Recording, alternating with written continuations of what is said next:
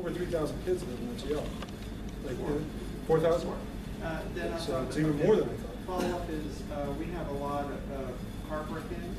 Yes. I mean, it's just a natural reality, uh, you know, when you talk about what kind of crimes exist and are happening. And uh, they're usually uh, uh, something of opportunity, I mean, uh, when they do it. And, uh, uh, and obviously, the reality is, uh, down here at the Tenderloin, well as Chinatown, we're the lowest income neighborhoods in the whole city. And uh, so the people obviously that come here to visit or whatever, uh, always looking for quick um, money. Um, And of course, then the other one is panhandling, uh, which we see a lot of them.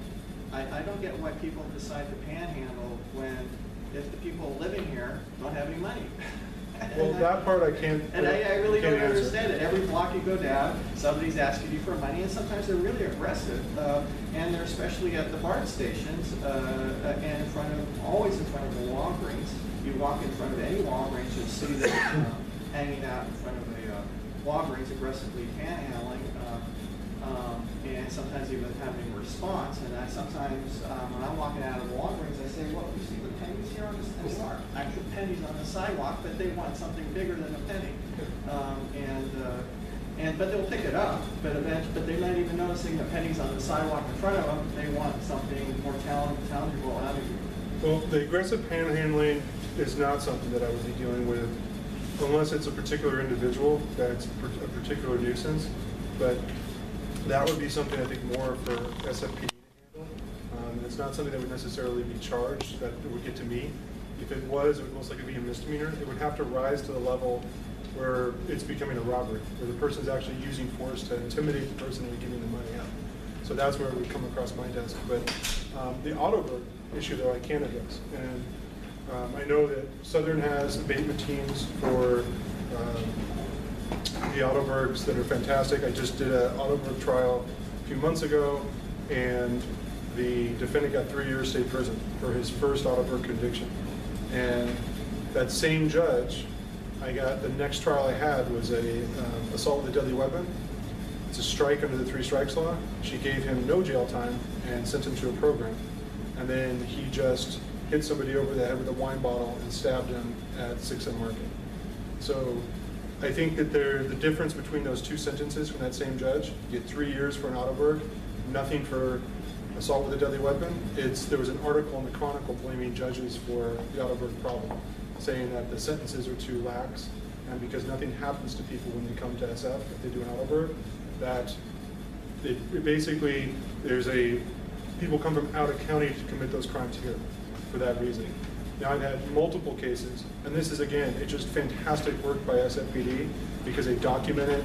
They, um, and I had a case out at the Sunset where a guy had broken into multiple cars and he didn't even get anything. He was just smashing windows, looking through the cars, not seeing something, wanting it, breaking the window and taking it. So these are people who had nothing in their cars, but now they got a smashed window, even though they had nothing in their car. They couldn't, you just can't win when someone's that willing just to break a window for no reason.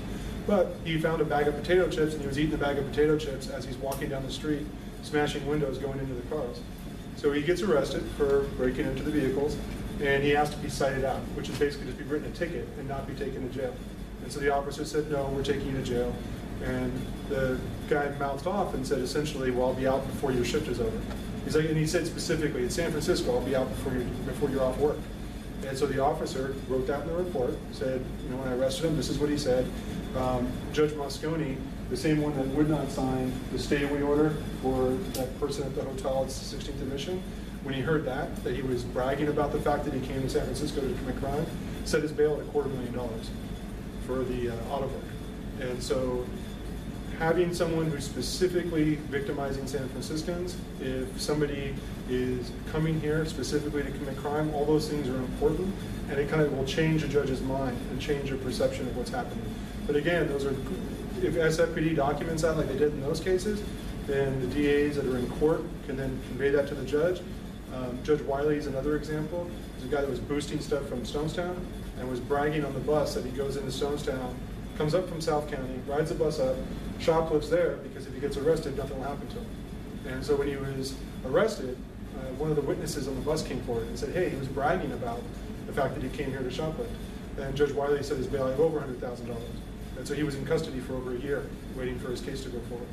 Um, Had he not said those things, he probably would have just been cited out, or his bail would have been set at a minimal amount, and he would have been back stealing again the next day. So one of the ways to interrupt that is to have enough information to show the judge that they're making the wrong decision. But in order to be able to do that, um, you know, I need more information. So to the extent that anyone wants to help, that's great. So my next question, which I think is very important, is that this was marketed to this neighborhood some time ago, which was community courts. And uh, you, uh, when I talk to the police and there's an issue that's going on, whatever happens to be, they say, well, first of all, many of the people can't afford a bond, so they're not going to get a ticket. So they're, so what are the options? So how can they get be pursued to the point there, there has to be a penalty for if if everybody else can uh, be a law-abiding citizen, but these, there are people that act out in this neighborhood and, you know, they either come to this neighborhood or they act out once they're here. Uh, and, um, they're, feel there's no consequence.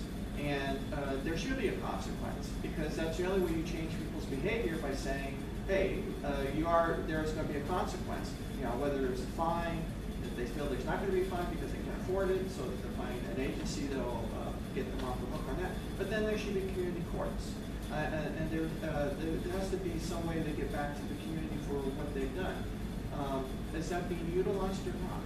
It is, and it, in my opinion, it is effective in certain circumstances, but only with the appropriate cases.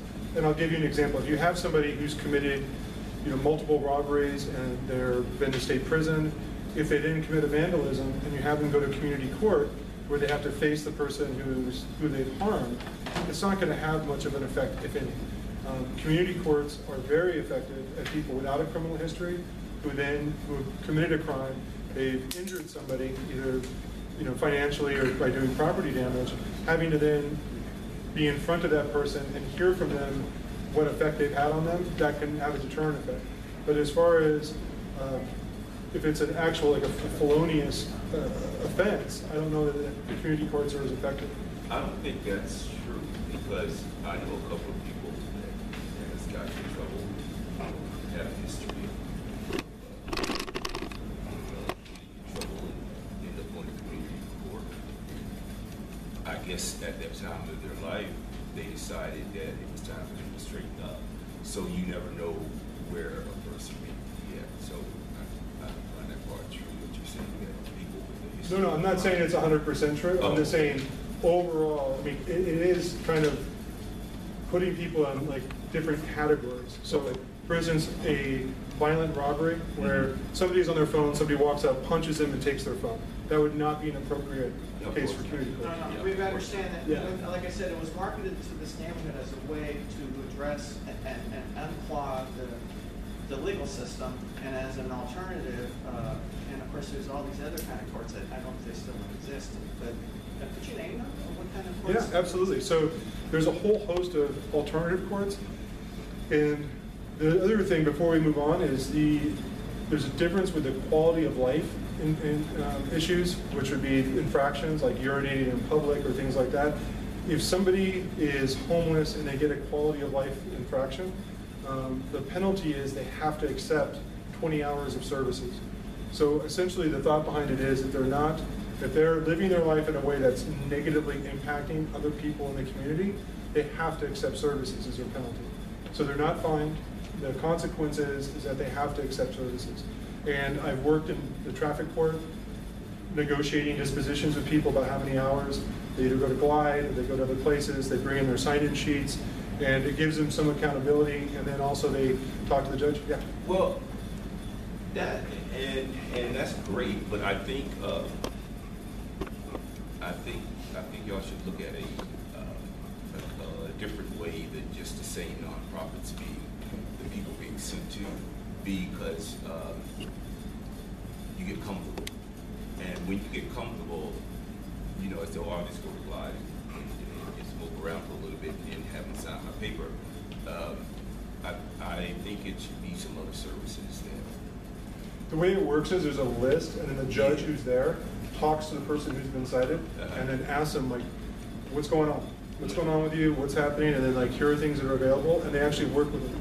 Well, I think it should be, what part is, what part of San Francisco do you live in? Or what part of San Francisco do you hang in? And then this is where we're putting you. So it won't be an option for them to say, well, I'm, I'm gonna go to Glide, and you have fifty people going to Glide and all these other nonprofits that they need to go on going. I can, I can absolutely let the person who's running the, because right now it's uh, essentially either law, basically law students or running the traffic court. I'll go and talk to the DA that's supervising them. Yeah. And I'll, I'll definitely bring up that suggestion, because I think it's a good one. Um, Now, the other, the alternative courts that you brought up, there's behavioral health court, which is fantastic. Uh, There's uh, CJC. What- What's the jurisdiction, what can it do, what can't it do? So in order to be eligible for behavioral health court, you have to have an Axis One diagnosis. So you have to be both diagnostically appropriate and amenable. And so what happens is, uh, when someone's arraigned for a crime, if the defense attorney who speaks to them thinks that they might have a mental health issue, or that mental health issue might be driving their criminal behavior, then the uh, attorney will ask for what's called a 4011.6 for BHC purposes, and then jail psychiatric services meets with the person. They'll then also review their medical records. And if they have an Axis One diagnosis that, that BHC can help with, behavioral health court can help with, then they talk to them and say, do you want our help? Do you want to work with BHC? So if the defendant wants to work with BHC and they're diagnostically appropriate, the case will then go up to BHC. And then there'll be, uh, and I'll, I'll give you a, a real world example, because one of the cases I had that went to BHC, um, it was a young man, he's on, I think it was on the 14, the, uh, he was off his medication and had a psychotic break. Uh, when a bus came to a stop, he picked up an elderly gentleman and threw him off the bus. And the guy cracked his head on the pavement and um, had a head injury, some stitches. But he was okay, no permanent injuries, but hit his head pretty good. Um, at arraignment, the defendant was in tears. He was saying he was off his medication. He was felt terrible about what he had done. It was, I think, the second or third time that he had gone off his medication and had psychotic episodes and assaulted people. So the, the victim, the person who was injured by him, wanted him to go to BHC. Um, I believed it was appropriate to go to BHC, but my office was not comfortable with that until he did some programming. So he actually stayed in custody for a while, but he was working with jail psych, he was getting on medication, he was stabilized, he was doing well. And then finally we agreed, yes, he should go to BHC.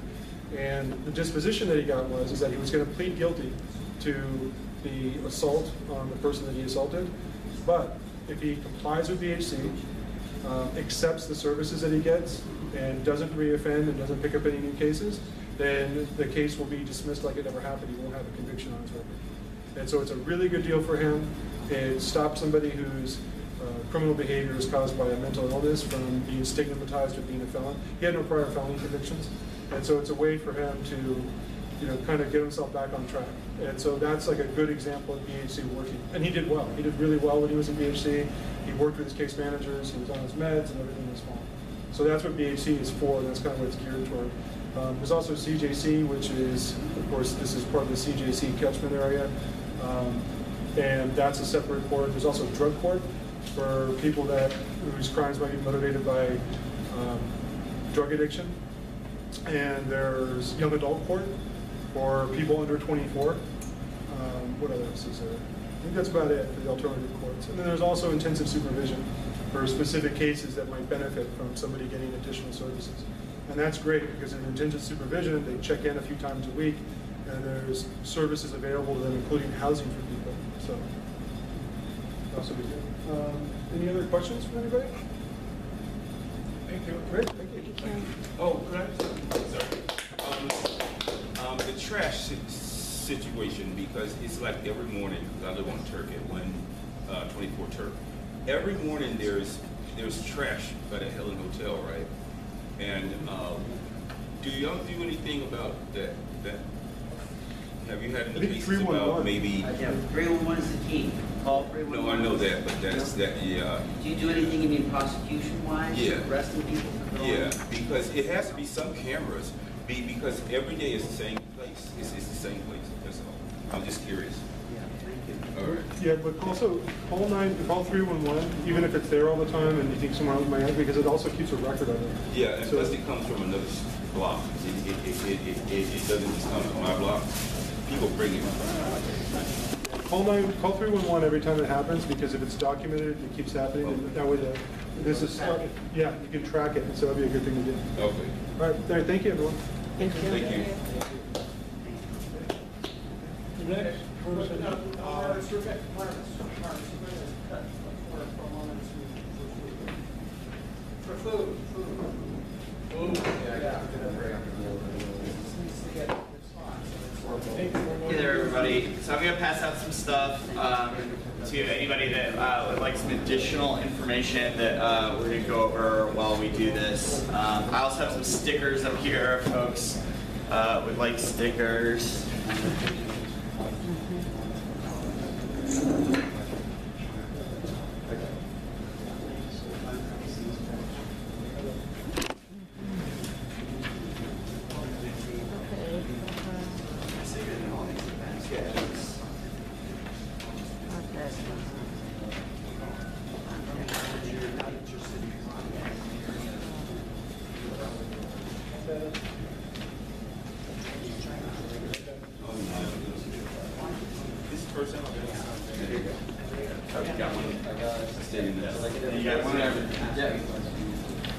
The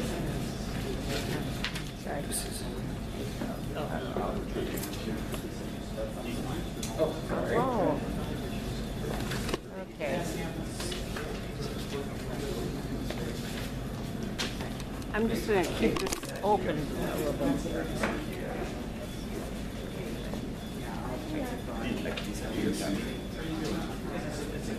Okay, everybody. Um, so I would just like to. Uh, so I'd like to first introduce myself. Um, I'm Bradley Dunn. I'm the District 6 liaison for the SFMTA. Um, I'm a public information officer, which means that um, I work on projects, letting people know um, about projects that exist, and um, also uh, I come to community meetings like this and you know serve as a resource for community groups and interested folks to find out a little bit more what's going on. I can get you uh, a packet in a second, uh, Michael. Um, so uh, there's a bunch of different things on the agenda, um, and so I'm going to kind of go. Um, uh, I'm going to start with the BRT projects, um, both Geary B- BRT and Van BRT, uh, which we uh, call the Van Ness Improvement Project and the Geary uh, Rapid Project. Um, so I'm going to start with those. Um, then I'm going to talk about uh, three streets um, that are kind of all, or well, three projects that are kind of all connected um, in the Eddy Street uh, traffic calming project, um, the Taylor Street uh, project, um, then uh, the Sixth Street project, and then Turk um, to finish up. So uh, this is going to be a, you know, the kind of uh, information I've got is, um, you know, there's some depth to it, but this is mostly an overview um, because, you know, there was a, a request for a lot of projects, and if we had brought, you know, the project teams from each and every one of these projects here, um, we wouldn't be going home until sometime tomorrow morning. Um, so, uh, you know, this is intended to be a catch you up, kind of give you um, a wide berth of information. And if there are more specific questions, um, we can schedule uh, project teams to come to additional meetings um, in the future. Many of these projects are in, you know, all of these projects are in different stages, and because of that, that means that they're in different stages of community outreach and um, and, and, and working with the community. So in many of these um, projects, there will be additional opportunities um, for you to get involved, have your voice be heard. Um, if you have opinions on the project. Um, so with that, I'm just gonna uh, you know sit down because I've got a lot of notes and a lot of paper and uh, start if you guys don't mind. So the first project that I wanted to talk to you guys about um, is probably the biggest project, um, which is the Van Ness Improvement Project. Uh, you have, uh, I just passed out uh, the last, uh, you know, very flight attendant um, uh, the last uh, neighborhood bulletin uh, that went out, uh, which talks about um, you know uh, small business ways that we're trying to work with small business um, and uh, how to survive construction. Um, uh, things that we're uh, encouraging folks to do. uh, talking a little bit about um, how to visit the corridor when you're, um, you know, during this process uh,